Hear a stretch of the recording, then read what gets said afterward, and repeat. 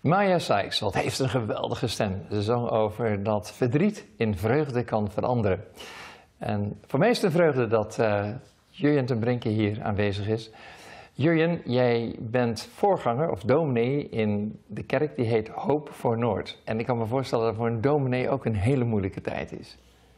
Ja, nou, het is vooral een heel andere tijd. Je bent natuurlijk gewend, en dat heeft ook met je karakter en persoonlijkheid te maken. Je bent wel een vrolijke man, hè, geloof ik? Ja, ik heb een optimistisch karakter van de Heer God gekregen, dus dat helpt. Maar ik hou ook van dichtbij mensen zijn. En, en die nabijheid, dat, dat lukt nu dus niet zo goed. Dus als wij dan een uitdeelactie met voedsel hebben en mensen komen naar de kerk en krijgen een pakket. En uh, ja, dan moet, dan, de een is verdrietig en de ander is uh, echt wel een beetje wanhopig. En, en dan sta ik zo'n beetje op twee meter afstand. Zeg ik, nou, zal ik voor je bidden? Of dat doe ik ook regelmatig bij mensen bij de voordeur. Hè. Dan sta ik uh, twee meter bij de voordeur vandaan. En dan, dat voelt toch een beetje raar. Dat je iemand gewoon even wil, wil bemoedigen. Maar het is ook een, een dat het kan. Dat we de boodschap van hoop hebben in deze tijd. Uh, en dat er hier in ons land zoveel middelen zijn om online met videobellen en alles dat ook te blijven doen. Ja. Je hebt heel veel migranten. Er zijn er 900.000 christenmigranten in Nederland, 1 miljoen moslimmigranten. Dat zijn enorme aantallen. Worden die wel eens een beetje vergeten in deze tijd?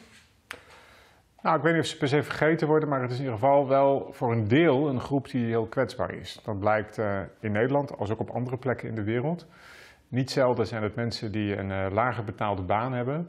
Um, uh, mensen die geen eigen auto hebben, die gebruik moeten maken van het openbaar vervoer de cijfers die nu gewoon vanuit Amerika komen, is dat de, de zwarte bevolking echt uh, veel harder getroffen worden door corona dan uh, de, de blanke bevolking. Het heeft niet te maken met dat mensen niet geholpen worden of gediscrimineerd worden in de zorg per se, maar wel dat hun uitgangspunt echt ja. anders is. Als ik nou zeg, eh, haal even één migrant uit je gemeente voor de geest die het moeilijk heeft, die waarschijnlijk geen mobiele telefoon heeft en die uh, even geen werk meer heeft, want vaak doen ze de, de, de, de baantjes die... Die, wij, die Nederlanders niet willen doen. Ik wil het niet zeggen, maar het is wel zo. Ja. ja.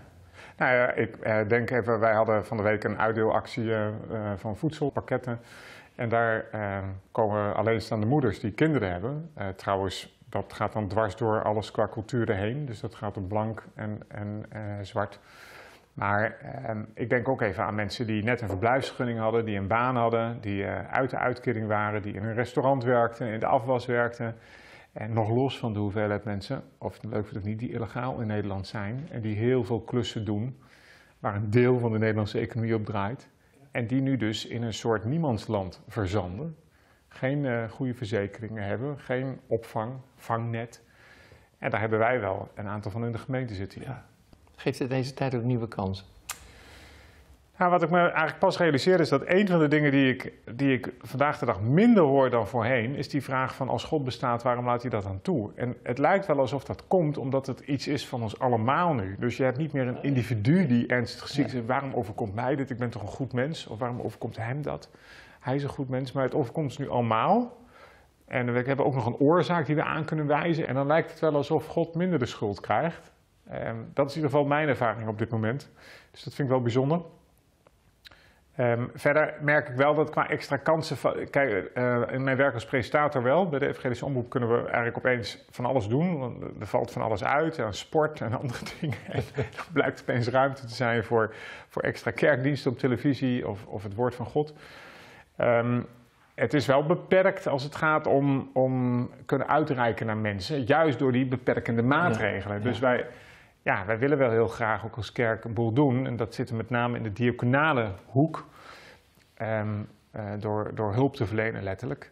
Maar je kunt natuurlijk niet heel makkelijk mensen eens uitnodigen voor een mooie uh, buurtmaaltijd of voor een uh, leuk evenement bij de kerk, omdat er meer openheid zou zijn voor God of geloof. Want je kunt die bijeenkomsten niet organiseren. Ja. Kun je ook meehuilen met mensen en verdriet hebben? Ja. Of vind je dat moeilijk? Nee, ik kan dat wel. Ja. Ik, hoewel het dus nu die die afstand er is. Iemand zei, uh, het is geen gepaste afstand, maar gepaste nabijheid. En ja. daar probeer ik dan wel, om wel dichtbij genoeg te komen. Dus dat kan. En jij moet mensen begraven die overleden zijn aan corona. Wat, uh, dat, dat, dat, wat zeg je dan? Niet wat anders als bij andere situaties van mensen die sterven. Het is natuurlijk wel, de situatie is anders, omdat er minder mensen bij mogen zijn. En uh, het, het, het rouwen, in die zin met elkaar troosten, anders is. Um, een van de dingen die volgens mij het belangrijkste is, is, is de gedachte die, ja, uh, die bijvoorbeeld met Goede Vrijdag en Pasen, hè, wat we net gehad hebben, wat dan heel erg aan bod komt. En dat is dat God in ons lijden is gekomen in de persoon van Jezus. Dus dat is voor mij een van de meest hoopvolle tekenen. Dat God niet uit de hemel zit, zit te kijken hoe wij het hier met elkaar fixen en oplossen met dat corona gebeuren en met andere crises. Maar dat, dat hij zichzelf in de persoon van Jezus gegeven heeft, die in deze wereld is gekomen, met ziekte en lijden geconfronteerd is geweest, met, met rouw, met dood. Eh, die de Godverlatenheid aan het kruis heeft meegemaakt op een manier als die geen mens meemaakte. Die het toen niet uh, uh, op Facebook hoefde te zetten, hey, ik voel heel alleen, of ik voel uh, dat mij dit nu moet overkomen. Maar hij ging aan dat kruis ook nog roepend naar, naar God toe. Daar moest hij zijn. Nou, dat geeft mij wel hoop en troost. Nog los van de hele opstandingsgedachte waar we nu, waar vanuit we nu weer mogen leven. Het is Pasen geweest. Het is het, het nieuwe leven wat eraan uh, wat kwam, dat, dat is gekomen en dat biedt hoop en perspectief. Ja. Wat mij helpt, en ik heb daar in deze tijd veel discussies over, ik zeg ja, ik ben niet een product van toeval en tijd, ik ben niet ergens geboren om ergens dood te gaan, maar uh, weet je, ons wacht de eeuwigheid. Uh, kun je dat eens beschrijven? Want dat biedt mij wel troost. Dat ik denk van, nou ja, ik... Uh, ja, kijk, het laat ja. volgens mij heel erg zien dat als je al leefde vanuit het idee dat je het hier op aarde moet maken op de manier zoals je graag wil, dat het nu op aankomt of je daadwerkelijk gelooft wat er in die Bijbel staat en wat je waarschijnlijk al tientallen jaren beleden hebt. Dat je vreemdeling bent op aarde, pelgrim, hè, eh, doorreiziger. En nu blijkt of je dat echt gelooft. Want als dat zo is, ja, dan komt je sterven misschien wel eerder dan verwacht. En ik ben opgegroeid in een kerk waarin de Heidelberger catechismus gepreekt werd. Zondag, Zondag 1. Wat is enige troost bij de leven sterven? dat ik zowel in mijn leven als in mijn sterven weet dat ik van Jezus Christus ben. En dat is een les voor mezelf en voor mensen om me heen. Geloof ik dat nu echt. En als dat niet zo is, of als je dat moeilijk vindt, durf je dan in deze tijd op de knieën gaan, te gaan en te zeggen: Heer, ik moet in ieder geval één ding beleiden. Ik ben toch te vast aan dit leven gaan zitten. En, en nu komt het erop aan of ik daadwerkelijk die belofte van God geloven mag. Die stand houden en die vast blijven tot in eeuwigheid. Als ik nou zeg, daar worstel ik best wel mee, dan denk ik dat ik, en dat met uh, uh, heel veel christenen doe. Worstel er maar mee. Worstel maar met God met, rondom deze dingen. Heer, ik vind het moeilijk. Ik, ik, ik voel me onzeker. Ik voel me bang. Ik, ik zou willen vertrouwen, maar het lukt me nu niet zo goed. We moeten ons niet een nieuwe maatstaf opleggen, maar we moeten die worsteling, of moeten, we mogen die worsteling aangaan met God. Want wat, dat is wat Jezus dus ook deed. Hè? In, de, in, in Gethsemane deed hij dat, aan het kruis deed hij dat. Op allerlei momenten ging hij die worsteling als het ware met zijn vader aan, met God aan. En we zien dat in de hele Bijbel terug. En in de psalmen heel erg sterk natuurlijk. Heer, waar bent u dan? Ik roep tot u, hoort u me niet of zo? Eh, dat, en ik denk dat dat een verdieping in ons geloofsleven bewerkt. Dat is trouwens ook hoe de, hoe de apostel Paulus dat in de brieven omschrijft. Hè? Dat, die, dat die worsteling, die beproeving leidt tot volharding, tot, nou, ja. Dus het, maar goed, dat is wel, ik wil wel graag zeggen, dat is, dat is natuurlijk wel het theologisch kader. Dat is, dat is een beetje makkelijk praten, maar goed, uiteindelijk zitten we nu allemaal in. Ik zit er nu zo in, jij zit er zo in, iedereen zit er op deze manier in. En er zijn natuurlijk maar weinig mensen die nu halleluja fluitend over straat kunnen lopen van mij overkomt niks. Nou, ze zijn er wel hè. Het zijn de vogels. Dat klopt. Ja. Bobby Schuller gaat zo meteen spreken over het feit dat uh, God zelfs, het staat in de Bijbel, in de, uh, het kleinste musje ziet, uh, op het oog heeft. Vind je het niet leuk dat we ineens weer vogels horen fluiten? Want ja. het is niet zoveel verkeer. Ik zie daar net een, een, kijk eens, wat is dat in de tuin? Wat zit daar? Is dat dus... Een merel. Een merel, oké. Okay. Zelfs die zijn mooi, pikzwart. Ja, ja, ja. Maar is, is, het niet wonderlijk dat de natuur gewoon uh, doorgaat? Ja.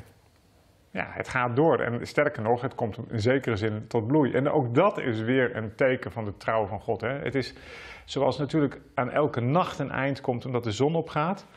Zoals we in een seizoen, het voorjaar zitten, waarin die dode takken ja. weer tot leven komen. Waarin die prachtige bloemen Hè, die komen uit zo'n harde bol, hè? Ja. Ze gaan leven. Het is een element wat God in de schepping heeft gelegd. En ja, wat we, wat we mogen geloven, dat er dus letterlijk hoop is, toekomst is, nieuw leven is.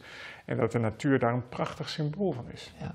Ik ga even naar een man toe die niet zo veelkleurig was. Die eh, zat in zak en as. Die, het getop van Job. Job. Ja, ik ik denk vaak aan Job. Want Ja. die had ook, hè, we hebben het gevoel, we zijn alles eh, gaat als zand door onze handen heen. Ja. Job leefde, denk ik, 4000 jaar geleden en alles werd hem afgenomen. Ja. Alles.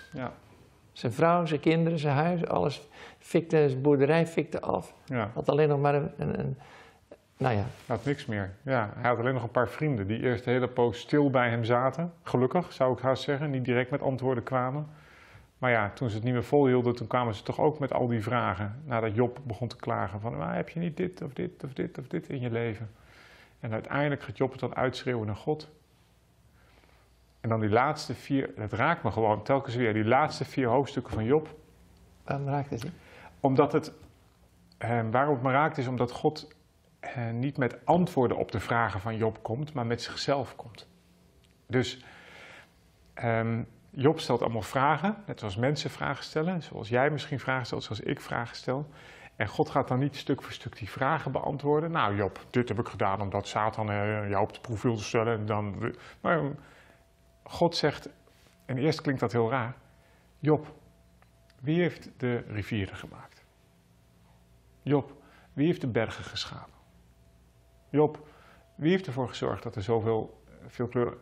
En dan gaat, dat gaat vier hoofdstukken lang door.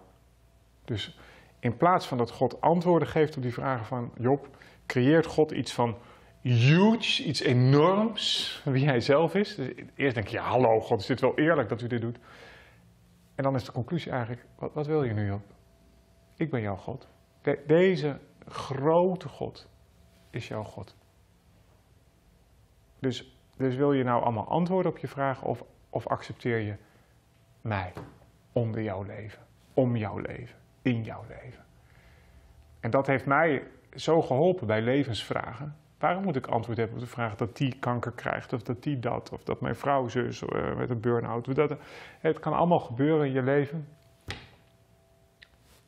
God geeft zichzelf in plaats van dat hij allemaal antwoorden geeft. Dat is wat we ook trouwens met Paas, met Goede Vrijdag hebben gevierd natuurlijk. Ja, en dat is mijn hoop in het leven. Wat een mooi einde. Wat een troostvol einde, wat bemoedigend. Mag je heel hartelijk danken, eh, je- Ja. Graag Heel veel zegen wensen. Dankjewel. Ik laat je niet met eh, lege handen gaan. Je hebt een eh, kerk waar heel veel migranten komen, waar mensen het leuk vinden om met elkaar te vieren, te delen. En ik heb iets voor je. Het is loodzwaar.